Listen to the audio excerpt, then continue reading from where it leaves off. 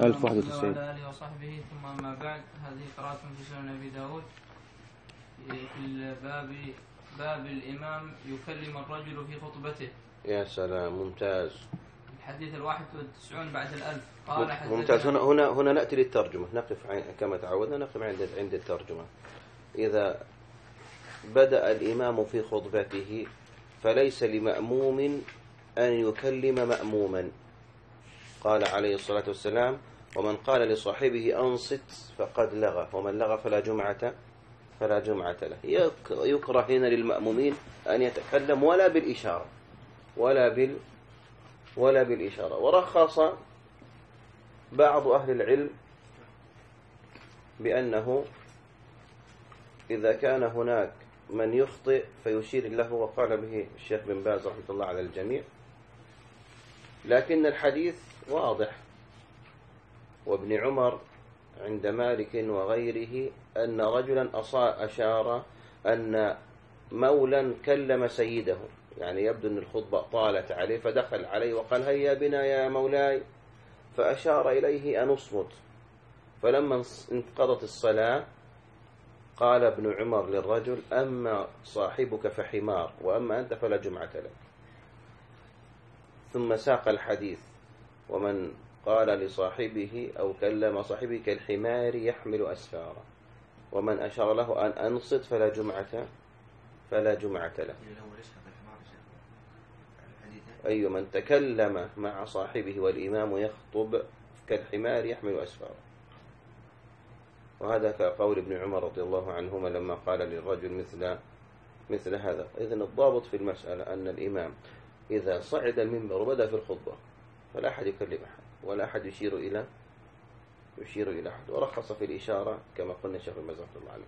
المسألة الثانية إن جلس بين الخطبتين قالوا لا بأس أن يكلم المأموم مأموما.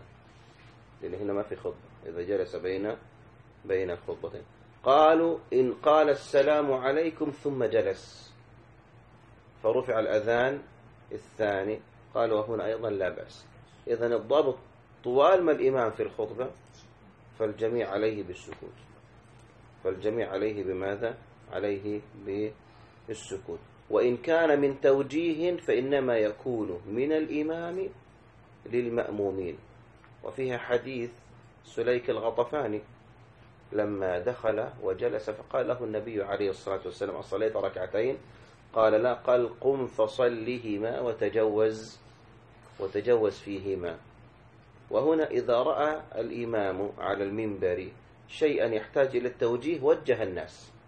طفل يعبث بقارورة ماء. هذا يعبث هذا نائم هذا دخل ولم يصلي ركعتين تحية المسجد. فهنا مسؤولية من؟ الإمام أن يوجه كل هؤلاء. نعم.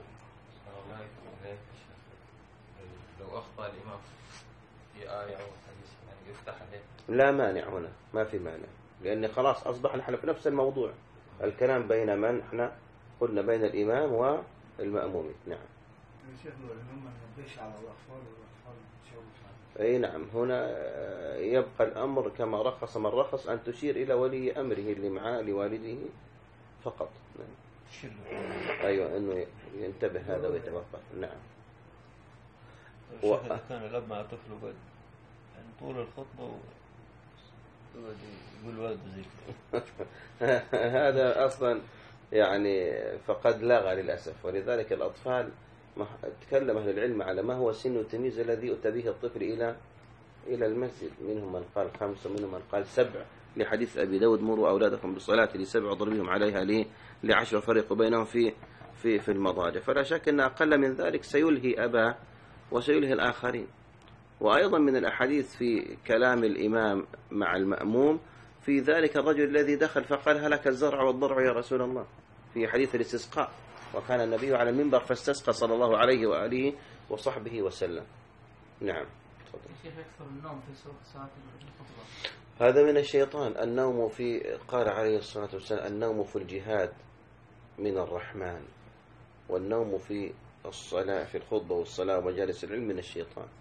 فالإنسان عليه أن يغالب هذا النوم حتى ولو قام وغير المكان. فالإمام الإمام هل؟ أيوة نعم إحنا قلنا نعم لا مانع هنا أن يقول له أوقظ هذا إلى غير ذلك. ينبههم على الاتكاء والاحتمال أيوة نعم كل هذا نعم. الحديث عند أبي داود فيه مقال عند بعض العلم حسنه الآخرون نهى عن الحبوة يوم الجمعة. الاحتباء هذا هو الذي قيل قال ابن حجر لأن هذا الذي يدعو إلى النوم. أي الاحتباء اللي هو يجيب لك شيء ورب- هذا هو الاحتباء هذا أصل فيه أن يجمع ركبتيه بأي نعم. كراهة الاحتباء يوم الجمعة. أيوة نعم. وبعض الناس بيجيب عمامة أو يجيب شماغ أو يجيب آه، آه، يعني مأزم خاص لذلك. هذا خلاص أنت جلست كده متمكن مطمئن. تلقى نفسك أنك نمت. قال ولأنه يجلب النوم والنعاس. نعم. شيخ هذا حديث؟ يعني الحبوة يوم الجمعة؟ لا النوم أيوة نعم حديث. أيوة نعم حديث. نعم. قال حدثنا يعقوب ثم أنزل عليكم من بعد الغم أمنة النعاسة نعم. تفضل.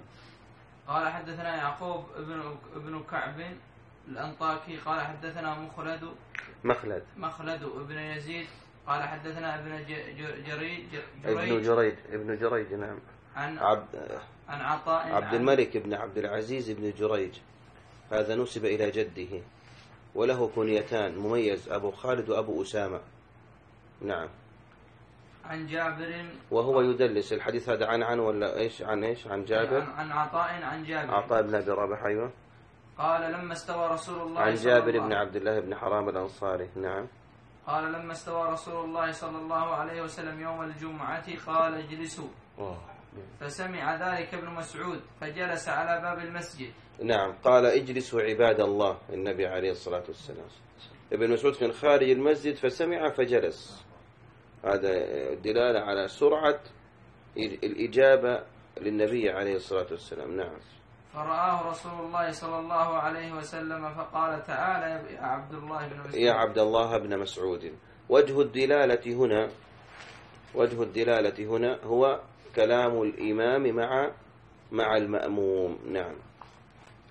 نعم. صحيح. قال أبو داود هذا يعرف مرسلا أن إنما رواه أناس عن عطاء عن النبي صلى الله عليه وسلم أي نعم. ومخلده ومخلد. شيخ. أيوه. نعم. ومخلده شيخ. نعم. لأن عطاء ما سمع من جابر فأرسله. الرواية فيما دون الصحابي تكون إرسالا. لرواية التابعي ير- إلى النبي هذا مرسل. لماذا؟ لأنه أرسله وأسقط واسطة اللي هو من؟ اللي هو الصحابي. نعم. لكنه مرسل صحيح ووصله بعضهم. نعم.